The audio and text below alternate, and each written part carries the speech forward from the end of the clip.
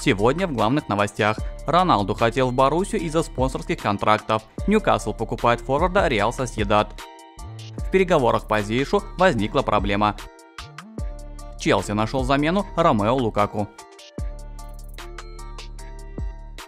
Атлетико умышленно не выпускает нападающего Антуана Гризмана в стартовом составе. Таким образом, мадридский клуб хочет избежать выплат Барселоне бонусов за появление форварда в стартовом составе. Форвард Баварии Джошуа Зиркзе может перебраться в Болонию. Итальянский клуб предложил за 21-летнего игрока около 9 миллионов евро, а также бонусы. Сам игрок не горит желанием переходить в Болонию.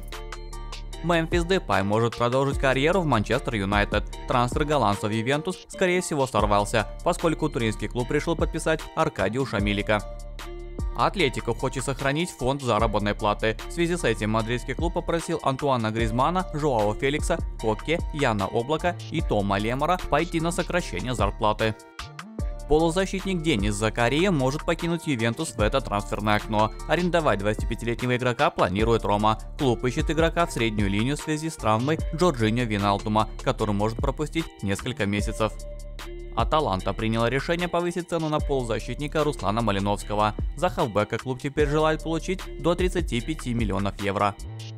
Вингер Арсенала Николя Пипе близок к переходу в Ниццу. Французский клуб и Арсенал достигли устного соглашения о переходе игрока на правах аренды. Ницца будет выплачивать футболисту большую часть зарплаты. Манчестер Юнайтед готов заплатить за вингера Аякса Антони 94 миллиона евро. Манкунюанцы надеются согласовать сделку уже до конца текущей недели. Мауро Икарди близок к переходу в Галатасарай. Турецкий клуб сделал ПСЖ предложение об аренде 29-летнего нападающего. Сам футболист согласен на этот трансфер. Защитник Абду Ало рассчитывает покинуть ПСЖ этим летом. Интерес к футболисту проявляет несколько клубов АПЛ, в том числе Астон Вилла. 26-летний игрок был бы рад поработать под руководством Стивена Джерарда. Полузащитник Рафинья Алькантара близок к тому, чтобы покинуть ПСЖ. Парижане ведут переговоры с Трабзонспором. Для турецкого клуба 29-летний игрок является приоритетной целью. Эвертон просит Челси включить игрока в сделку по трансферу Энтони Гордона. Клуб из Ливерпуля хочет, чтобы помимо денежной компенсации за трансфер Вингера лондонцы отдали одного из своих игроков – Конора Галлахера или Арманда Брою. Челси проявляет интерес к защитнику Байера Эдману Тапсоба. 23-летний игрок определенно входит в список потенциальных трансферных целей лондонцев. Его кандидатура обсуждалась внутри клуба на случай провала переговоров с Лестером по Уэсли Фафана. Полузащитник Оливер Абельгор может покинуть Рубин. 26-летний футболист привлек внимание Андерлехта. Клубы уже ведут переговоры. Артем Дюба мог продолжить карьеру в чемпионате Бельгии. Юнион предлагал форварду, находившемуся в статусе свободного агента, контракт зарплатой 500 тысяч евро в год. Дюба стал бы самым высокооплачиваемым игроком команды, если бы принял предложение. Манчестер Юнайтед нацелен на подписание голкипера Ньюкасла. Манкунианцы провели переговоры по поводу возможного приобретения Мартина Дубравки. Эвертон может подписать полузащитника Манчестер Юнайтед Джеймса Гарнера. 21-летним англичанином этим летом интересовались Лестер, Ноттингем Форест и Тоттенхэм.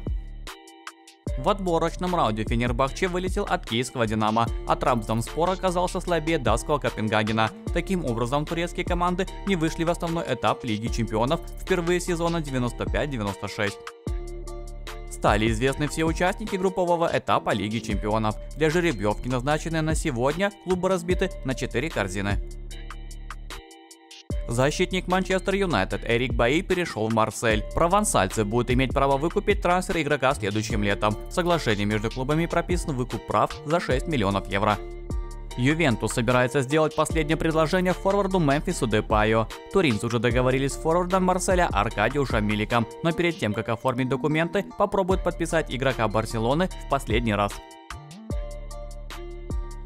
Билд объяснил, почему Криштиану Роналду хотел выступать за Дортмундскую Боруссию. Во-первых, часть выплат по контрактам с Nike, и Binance зависит от участия форварда в Лиге Чемпионов. Манчестер Юнайтед в этом сезоне не сможет выступать в данном турнире, в отличие от Боруссии. Ради сохранения поступлений от спонсоров на прежнем уровне, Роналду был отказаться от части 29-миллионной зарплаты. Также Португалия заинтересован в победе в Бундеслиге. Победителем Премьер-лиги, Ла Лиги и Серии А он уже становился. Третий фактор – выступление на постоянно заполненном стадионе Дортмундской Боруссии, вместимость которого составляет 81 тысяча человек.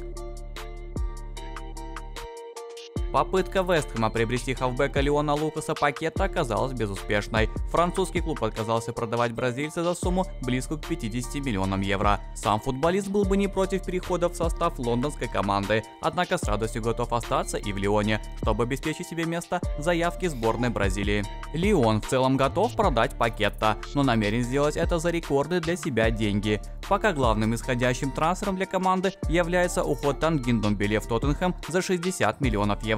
Вестхэм не планирует значительно улучшать предложение, но агенты бразильца сейчас находятся в Лондоне на случай, если Лион все же передумает. Также они собираются провести встречи еще с несколькими клубами АПЛ.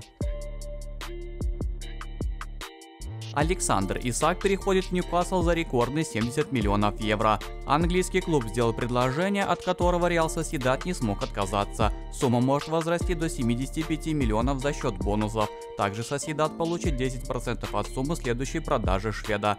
Продажа 22-летнего игрока рекордная для клуба и Сан-Себастьяна. Летом 2019 нападающий был куплен у Баруси примерно за 10 миллионов евро.